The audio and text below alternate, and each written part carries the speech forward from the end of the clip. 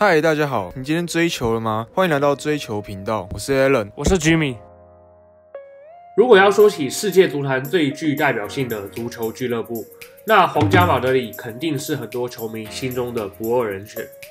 马德里是西班牙的首都和马德里自治区的首府，同时也是该国最大城市。由于位于西班牙中部，加上有曼萨拉雷斯河贯穿市区。优越的地理位置让马德里早在16世纪就成为西班牙殖民帝国的政治经济中心。现在和第二大城巴塞隆纳并列为国内两大经济重镇。至于马德里和巴塞隆纳的爱恨情仇，又是另一个故事了。如果大家有兴趣，我们以后再专门做一集来讲。红马成立于1902年3月6日，1920年时被当时的西班牙国王阿方索十三世授予皇家的称号。同时，在原本的队徽上加上皇冠，而他们的主场就是鼎鼎有名、可以容纳高达八万一千人的伯纳乌球场。皇马可说是西班牙，甚至是全世界最成功的足球俱乐部。球队一百多年的历史中，拿下了三十四次西班牙甲级联赛冠军，十三次欧洲冠军联赛冠军，三次洲际杯足球赛冠军和四次世界俱乐部杯冠军，总共七次成为世界冠军。不管哪一项数据，都是世界最佳。在两千年的时候，FIFA 为了迎接二十一世纪的到来，特意在官方杂志《国际足总杂志》举行二十世纪最成功的足球俱乐部投票，皇马就以百分之四十二压倒性的票数获选。不仅如此，目前市值高达四十二点四亿美金的皇马，也是全世界拥有最多球迷的职业球队。不夸张的说，全世界有好几亿的皇马迷啊！哇哦！皇马还有一大特色，那就是在队史一百多年的历史来，无论哪个时代，阵容永远都是星光熠熠。像上古时代的欧冠五连霸，一九六零年代八年七冠的联赛巨人时期，到比较近代大家较为熟知的银河舰队时期和席丹时代。虽然席丹时代的皇马缔造了无数传奇纪录，不过其实那只皇马的雏形可以追溯到二零一三年，也就是 BBC 连线问世的年代，而这也是本集影片的重点。由意大利知名教头 Carlo Ancelotti 开创的《旗杆前传》。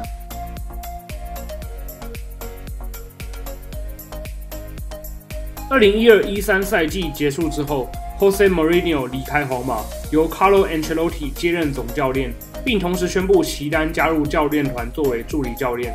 在执教皇马之前，Ancelotti 曾经先后担任意大利豪门尤文图斯和 AC 米兰的总教练。也曾经执教英超切尔西和法甲的巴黎圣日耳曼，其中执教 AC 米兰的期间，更是带领球队两夺欧冠，可谓是欧洲最成功的教练之一，承袭过去皇马一年一巨星的传统。这年夏天，皇马以破纪录的一亿欧元从英超热刺挖来了当年的英超年度最佳球员 Gareth Bale，也让他打破 Cristiano Ronaldo 变成当时转会费最高的球员。那时贝尔在转型成为高尔夫球选手之前，确实是英超第一人，不然也不会让皇马主席 Florentino Perez 钦点为 C 罗的接班人。除了贝尔之外，Isco、Nacho、卡巴号等日后的球队骨干也在这个夏天一同来到马德里。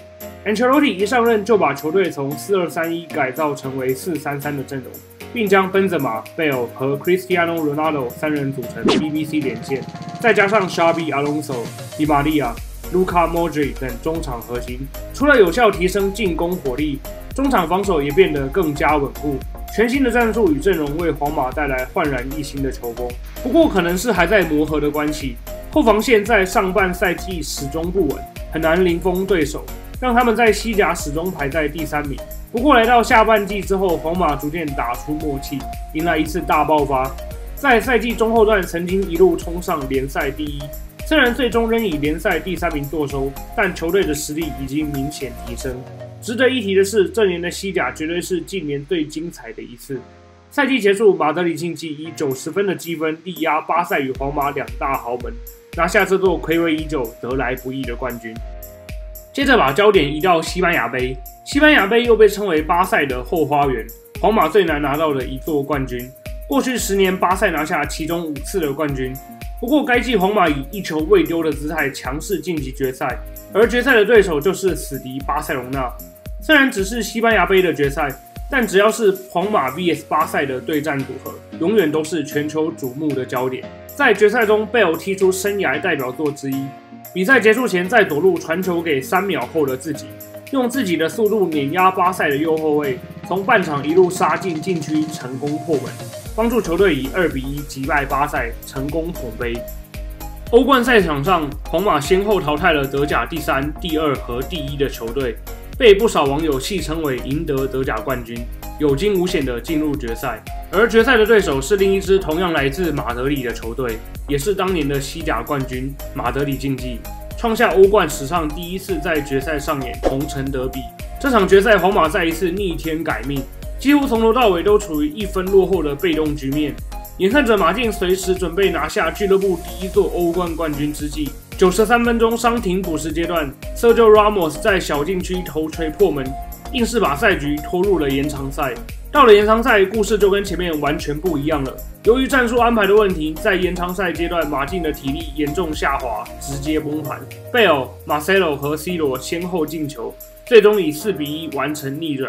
暌违十四年，再次登上欧洲之巅，成为第一支拿下十座欧冠冠军的俱乐部。另外，C 罗也以破纪录的十七球荣获欧洲金靴。总教练 Ancelotti 则是继一九八一年利物浦总教练 Bob Paisley 之后，第二位在执教生涯三度夺得欧冠的总教练。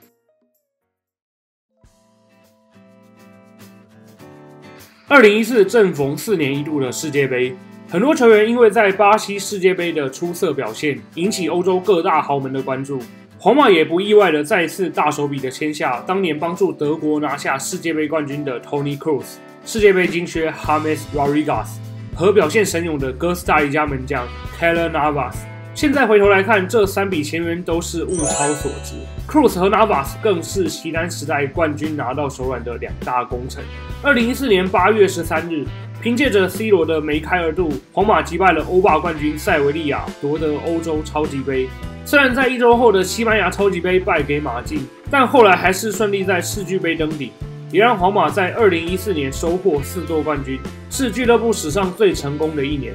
Ancelotti 的到来替皇马在登上神坛前铺好了路，没有他的话，大概也不会有之后的席丹时代。Ancelotti 的特点在于对球员的改造和炉火纯青的应用。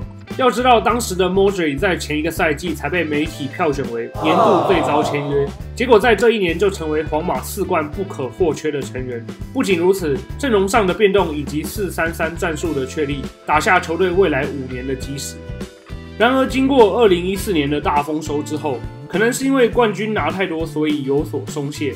球队开始迅速下滑，在西甲、西班牙杯、欧冠接连被淘汰，三条战线集体溃败的情况下，皇马在二零一四一五赛季四大皆空，一个冠军都没有。说巧不巧的是，隔壁棚的巴塞在赛季尾声再次拿出统治级的实力，一口气横扫五座冠军，荣登五冠王。也许是战绩上的对比，再加上皇马本来就是较为势利冷血的俱乐部，即便是帮助皇马立下汗马功劳的 Ancelotti，仍在赛季结束被解雇。